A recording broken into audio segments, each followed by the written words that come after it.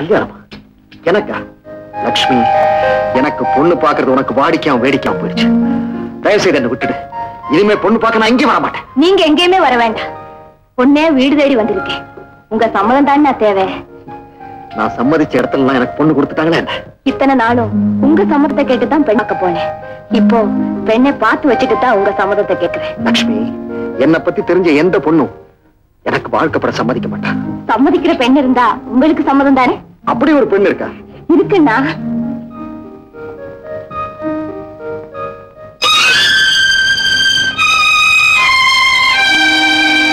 Anna.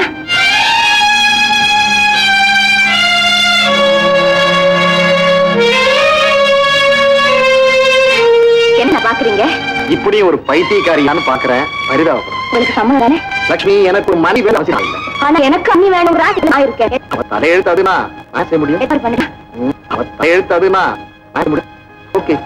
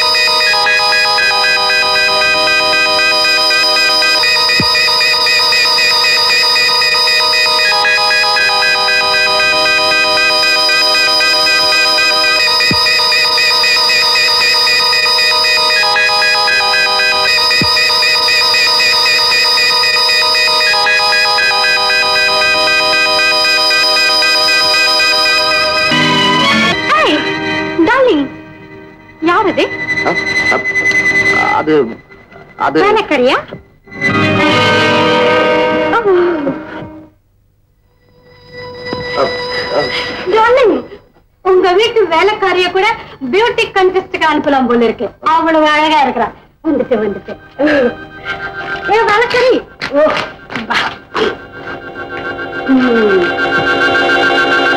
you are I very nice கொண்டப்பா.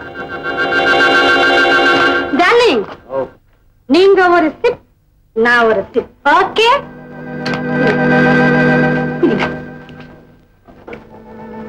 ஏன் darling எனக்கு kick ஓவரா இருக்கு நீயே கொடு. ஓகே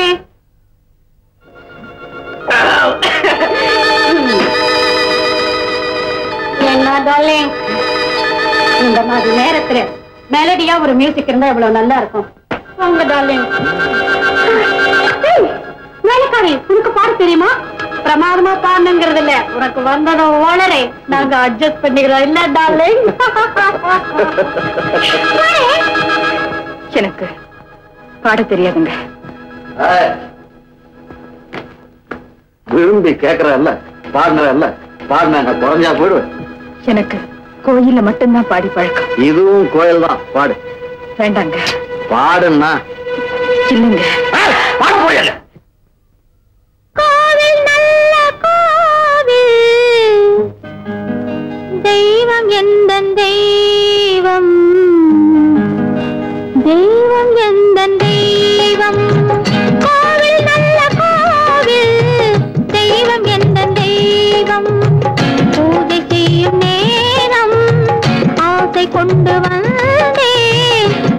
செய்யும் நேரம் ஆசை கொண்டு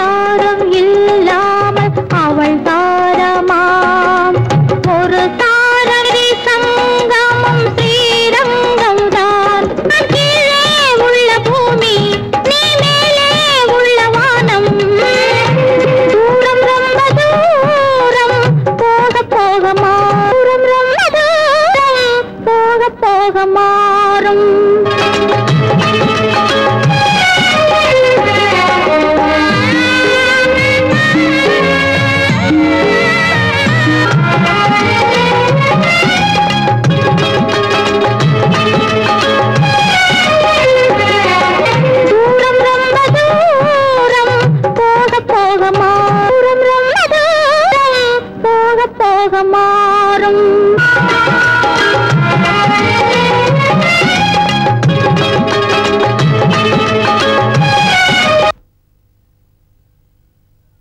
சுதா என்னக்கா? எழுந்திரிமா நீயா? உம்மகத்துல முடிச்சேன். இன்னைக்கெல்லாம் என்னென்ன நடக்க போதோ. நீ நினைக்க நினைக்கிறபடி எதுவும் நடக்காது. எல்லாம் நல்லதா தான் நடக்கும். இந்த காஃபி நான் தூங்க விடலையா ராத்திரி பாண்டிய ஒரு பாட்டு. பாட்டா அது கன்றாவி. ஆமா இதுக்கு முன்னாடி ரயில்ல பாடிட்டு இருந்தியா? எங்க அண்ணன் ஒயின் கிளாஸ்ல விழுந்தாரும் விழுவார தவிர உன் ஒப்பாரியில விழமாட்டார். காஃபி ஆறுதுமா? தெரியுது. ஆமா இத நம்பி குடிக்கலாமா? ஏன்னா நீ ஜெயிலில் வந்திருக்க. அதனாலதான் கேட்டேன்.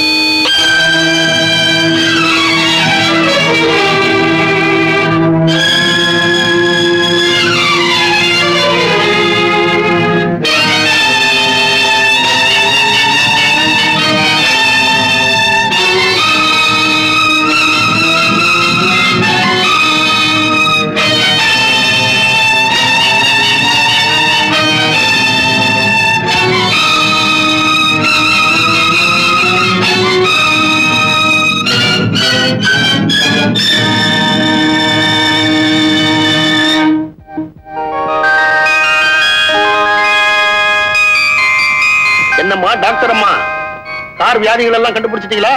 பேஷண்ட் எப்படி இருக்கார்? வண்டிக்கு மூளை வேலை செய்யல. அதனால டைனமோவை மாத்தணும். இருதயத்துல அடைப்பு இருக்கு. பெட்ரோல் வர மாட்டேங்குது கார்பரேட்டர் மாத்தணும். வயத்துல ஒரு சின்ன ஆபரேஷன் எக்ஸ்ரே எடுத்து பார்க்கணும். எத்தனை ஓட்டை இருக்குன்னு தெரியும். ஒரே ஒரு ஓட்டான்னு தான் அந்த பழைய மெக்கானிக் சொன்னான். அது புதுசுலையா? இது பழசு பத்து இருக்கும் பத்த வைக்கணுங்க. அதோட கழுத்து திரும்ப முடியல. ஸ்டீரிங்க சரிப்படுத்தணும். டாக்டர் அம்மா. தொடாம பேசுறியா? என்ன இதுக்கு இன்னொரு வியாதி இருக்கு. என்ன? காக்கா வலிப்பு வருது? வண்டியை ஸ்டார்ட் பண்ண உடனே ஸ்டெடியா நிக்க வேணாம்.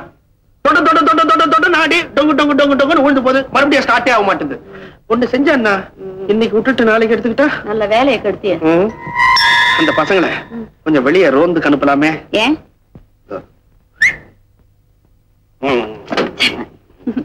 நட்டு போல்ட்டு ஜாக்கி. நீங்க எல்லாம் போய் கண்ணாயிரம் டீ கடையில என் கணக்குல டீ குடிச்சிட்டு டேய் பசங்களா டீ லபக் லபக்னு குடிச்சிட்டு வந்துடாதீங்க. ஒரு மூணு மணி நேரம் அங்கேயே இருந்து பொறுமையா குடிச்சிட்டு வாங்க. என்ன? எனக்கு டீ வேண்டாம். காபியை குடிச்சு தொலைய அதுவும் வேண்டாம். பாரு அங்க டியூப் இருக்குல்ல அதை எடுத்து. வெளியில கொண்டு போய் வச்சு காத்தடி போ. சரி. போ.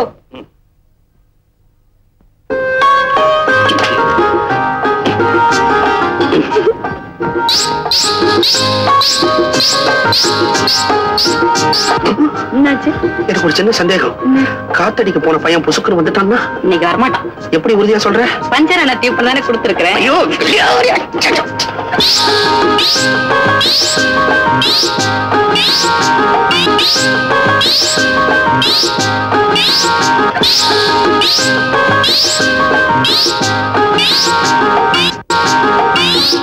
தலையில ஒண்ணும் பேன் இல்ல. என்ன குரங்கா புடிச்சு வாயில போட்டுக்கிறது?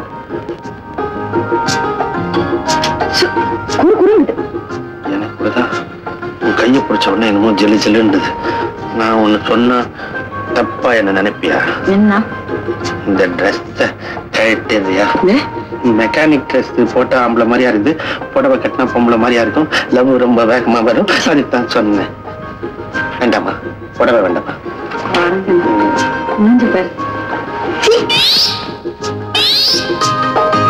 மெரினா பீச்ல குழு குழு கார்ல கண்ணாடி எல்லாம் ஏத்தி விட்டு உள்ள ஜெலு ஜெலுன்னு லவ் பண்ணுவாங்க நம்ம தலையெடுத்து மெக்கானிக் ஷெட்ல கட்டாந்தரையில படுத்துட்டு காதல் மெக்கானிக் ஷாப்க்கு என்ன குறைச்சலாம் இல்ல இல்ல இங்கத்திய காதல் மறுபடியும் ரிப்பேர் ஆயிடுமோன்னு பயமா இருக்குது நான் எதுக்கு இருக்கேன் ரிப்பேர் பண்ணிடுவேன் பண்ணிடுவேன் நிஜமா இரு அப்படியே ஊறுதுன்ற என்ன எறும்பு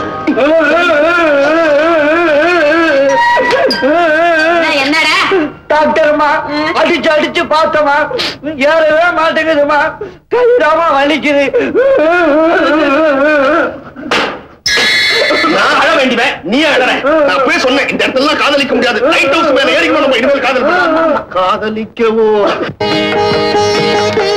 அண்ணி அண்ணி கொஞ்சம் நில்லுங்க. என்னம்மா? அண்ணி இன்னைக்கு நீங்க எவ்வளவு அழகா இருக்கீங்க தெரியுமா? இல்லையே நான் எப்பவும் போலதானே இருக்கேன். இல்ல ஏதோ ஒரு மாற்றம் தெரியுது. ஓ அதுவா? இன்னைக்கு வெள்ளிக்கிழமை இல்ல மஞ்சள் பூசி குளிச்சிருக்கேன். அதனாலயா இருக்கும். மஞ்சள் பூசி குளிச்சா இவ்வளவு அழகு வருமா? ஆமா முப்பது பவன் நகையை போட்டாலும் கிடைக்காத அழகு. மூணு காசு மஞ்சள்ல கிடைக்கும்னு பெரியவங்க சொல்லுவாங்க. நான் மஞ்சள் பூசி குளிச்சதே இல்ல பெண்கள் மஞ்சள் பூசாம இருக்க கூடாது நல்ல நாள்ல பொம்பளைங்க ஒருத்தருக்கு ஒருத்தர் மஞ்சள் கொடுத்து வாழ்த்திக்கிறாங்களே அது ஏன் தெரியுமா? மஞ்சள் தழைக்கிற மாதிரி குடும்பம் தழைக்கணும்.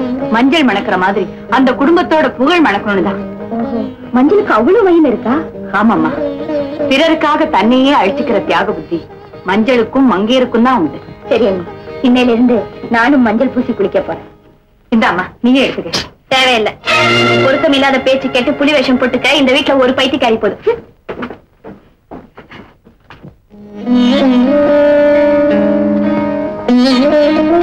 இதெல்லாம் எதுக்கு அண்ணி?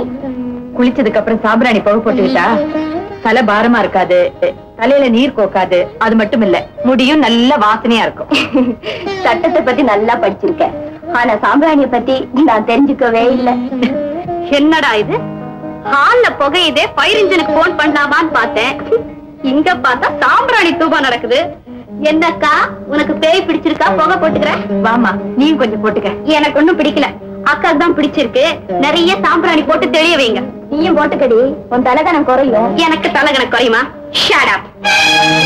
அண்ணி அவ தலைகணம் சாம்பிராணி போட்டா போகாது. தலையில அடி பட்டா தான் போகும். சின்ன பொண்ணு தானே. தன்னால எல்லாம் சரியா போயிடும். இந்த பில்ல பாத்தீங்களா அபராத தொகை ஐம்பது ரூபாய் என்னது? அபராதமா? சின்னம்மாளும் நாலு பெல்பாட்டனும் சேர்ந்து அண்ணா சாலையில இஷ்டத்துக்கு குறுக்குல கிராஸ் பண்ணாங்களா? அதுக்கு அபராத தொகை ஐம்பது ரூபாய் லட்சுமி சாப்பாடெல்லாம் எடுத்து வச்சிருக்கேன். வந்து சாப்பிடுமா. செலவு கணக்கெல்லாம் பாத்துக்கிட்டு இருக்கா நீ? முதல்ல வந்து சாப்பிடுமா.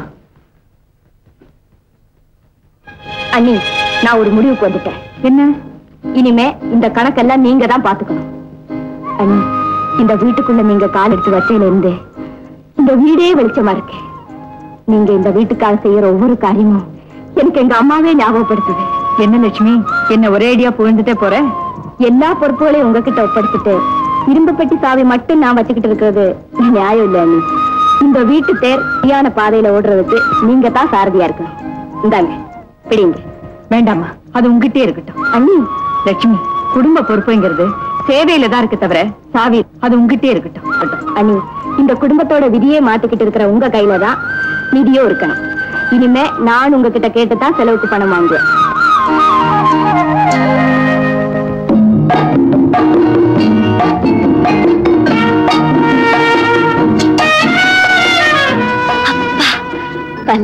கூசுது. அப்பா எனக்கு உடம்பெல்லாம் கூசுது. நீ செஞ்சிருக்கிற காரியத்தை நினைச்சா. ஒரு கொலகாரி உனக்கு கதை சொல்றேன். ப்ளீஸ் இன்னொரு தடவை எங்க அண்ணியை பத்தி அப்படி சொல்லாதீங்க. சட்டம் ஜானகிக்கு சூட்டி இருக்கிற பட்டம் அதுதானே லட்சுமி. அந்த சட்டம் தான் அவங்கள விடுதலை பண்ணிருக்கேங்கிறத மறந்துடாதீங்க. எங்க அண்ணி மத்தவங்க உயிரை பறிக்கிறவங்க இல்ல. ஆமா சதீஷ் அவங்க எங்களுக்கு அண்ணி அவர நாங்க கொடுத்து வச்சிருக்கணும். அப்படின்னா நம்ம கல்யாணத்தை கூட உங்க அண்ணி தான் பேசி முடிவு பண்ணணும்னு சொல்லு ஆமா. ஓகே. அப்ப சீக்கிரமே நம்ம கல்யாணத்தை பேசி செட்டில் பண்ணிடலாமே.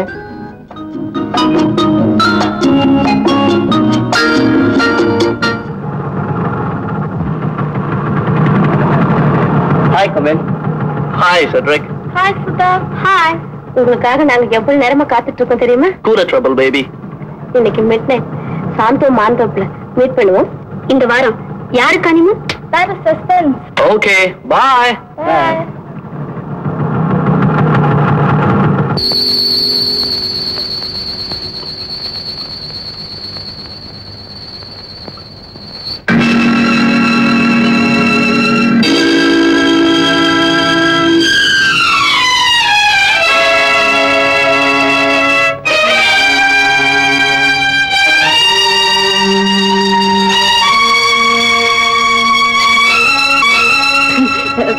என்னக்கா இன்னும் உனக்கு தூக்கம் வரல? நெருப்பு சுட்டுக்கிட்டு இருக்கிறப்போ எப்படி தூக்கம் வரும்? இருப்பா இந்த குடும்பத்தோட எதிர்காலத்தை எரிக்க போற உனக்கு. அதுதானே பேரு? பகலா இருந்திருந்தா இதுக்கு நான் பதில் சொல்லிருப்பேன். நின்னு பதில் சொல்ல இது நேரம் இல்லை I so sorry good night இல்ல எதுக்கு? பதில் சொல்ல. கேள்வி என்னவோ? எங்க போயிட்டு வர்ற? சினிமாவுக்கு. மீதி டிக்கெட் இருக்கா? போலீஸ்காரங்களே மீதி டிக்கெட்டை கேட்கல நீ கேக்குற. அப்படின்னா போலீஸ் ஸ்டேஷனுக்கும் போயிட்டு தான் வர்றியா? அங்கேயும் அட்வொகேட்டுக்கு தங்கச்சின்னு சொல்லிருப்பியே. இல்ல அக்காவுக்கு தங்கன்னு தான் சொன்னேன். அங்க ஏன் போன? நாங்க போன ஸ்கூட்டர்ல லைட் இல்லைங்கிறதுக்காக. அப்போ பாய் ஃப்ரெண்ட்ஸோட சுத்திட்டு வரியா ஏங்கா ஸ்கூட்டரை பாய் ஃப்ரெண்ட்ஸ் தான் ஓட்ட முடியுமா? என் girlfriend Rekha. Horse riding scooter car எல்லாமே ஓட்டுவா. அப்போ அவ கூட வைப்போம் இன்னும் பொழுது விடிய மூணு மணி நேரம் தான் இருக்கு. பொழுது விடிஞ்ச உடனே வா. போ வெளியே. போ வெளியேன்னு சொல்றதுக்கு நீ யாரு? நீ யாருன்னு நான் கேக்குறேன் யூ டேமிட்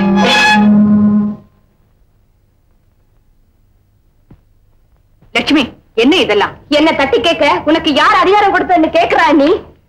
கரெக்ட் வயசு வந்த பொண்ண கை நீட்டி அடிக்க உனக்கு யார் அதிகாரம் கொடுத்தது? அண்ணி! அவளுடைய சுதந்திரத்தை தடுக்க உனக்கு யார் கொடுத்தது? அண்ணி நீங்களா இப்படி பேசுறீங்க? நியாயம் இருக்கிற பக்கம் பேசுறேன். அண்ணி ஒரு வயசு பொண்ணு அர்த்த ராத்திரியில வெளியே போயிட்டு வந்தா என்ன அர்த்தம்? தன்னை காத்துக் கொள்ளக்கூடிய தைரியசாலின்னு அர்த்தம். இல்லையா சுதா? கட்டுப்பாடு இல்லாம சுத்துறாளே அதை கேளுங்க. கட்டி போட்டு வளர்க்க அவ என்ன ஆட்டுக்குட்டியா? கட்டுப்பாடு என்னங்கிறது அவளுக்கே தெரியும். இல்லையா சுதா? நாலு பேர் சிரிப்பாங்களே. நாலு பேரை அழ வைக்கிறது தான் கொடுமை. சிரிக்க வைக்கிறது திறமை. இல்லையா சுதா? சரி சரி. நீ உள்ள போமா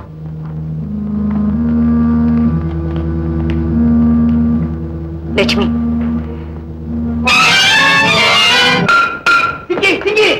ஐயா மங்கி.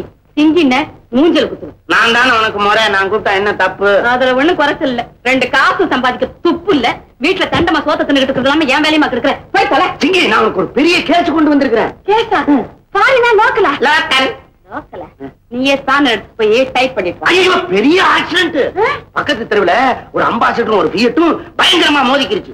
அம்பாசிடர் கண்ணு போயிருச்சு பியட்டுக்கு மூக்கு போயிருச்சு. பெத்தவங்க வருத்தப்பட்டாங்க. நீங்க ஓரத்துல கண்ணு கட்டி நிறுத்தி வைங்க. நான் போய் பெரிய டாக்டரை கூட்டு வரேன்ட்டு வந்துட்டேன். நீ போ உனக்கு நல்ல வருமானம் வரும். பரவாயில்லையே. நான்? நான் வரதுக்குள்ள வெறும் டீயா? சரி போறேன். பார்த்து போடா.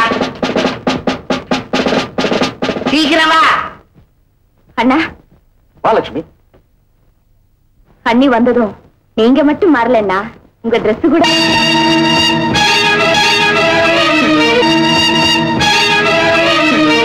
உங்க Dress மட்டும் தான் வெள்ளைய மாறி இருக்கு உங்க மனசு மாறல. கல்யாணம் ஆனதும் இத படிப்படியா குறைச்சிட்டு வருவீங்கன்னு நினைச்சேன். நீங்க மேல மேல குடிச்சிட்டே போறீங்க. லட்சுமி குடிக்கத்தானே மேல போக முடியும்? குறைச்ச முடியுமா? பொண்டாட்டி வந்த பிறகும் இப்படி பொறுப்பு இல்லாம குடிச்சா இந்த குடும்பம் என்ன ஆகுறது? இந்த மாசத்தோட பர்மிட்ட கேன்சல் பண்ண போறேன். பர்மிட்ட கேன்சல் பண்ண போற அது உன்னால முடியும். ஆனா பதுக்கி வச்சிருக்கிறவன உன்னால என்ன செய்ய முடியும்? என்ன யோசிக்கிற? நீ சொல்ற பாயிண்ட்லயும் அவன் ஓட்ட போட்டுட்டு வந்துருவான்? பொண்டாட்டி வந்த பிறகும் இப்படி பொறுப்பு இல்லாம குடிச்சா இந்த குடும்பம் என்ன ஆகுறது? இந்த மாசத்தோட பர்மிட்ட கேன்சல் பண்ண போறேன். இது வரைக்கும் தெரியல லட்சுமி. இனிமே தெரிஞ்ச உடனே ஸ்டாப் பண்ணு. லட்சுமி!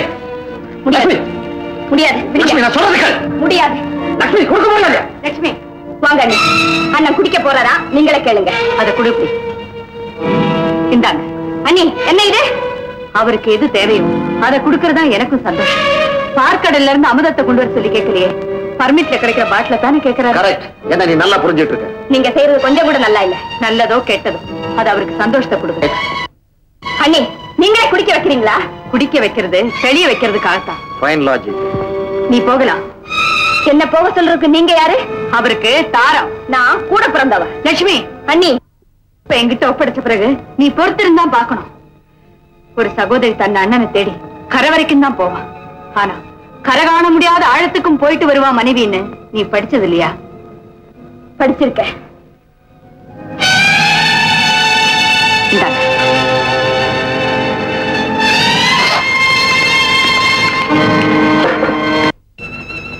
நான் குடிக்கிறப்போ என்னோட சேர்ந்து நீயும் குடிச்சு கம்பெனிக்கு இப்ப பண்ண முடியுமா உன்னால?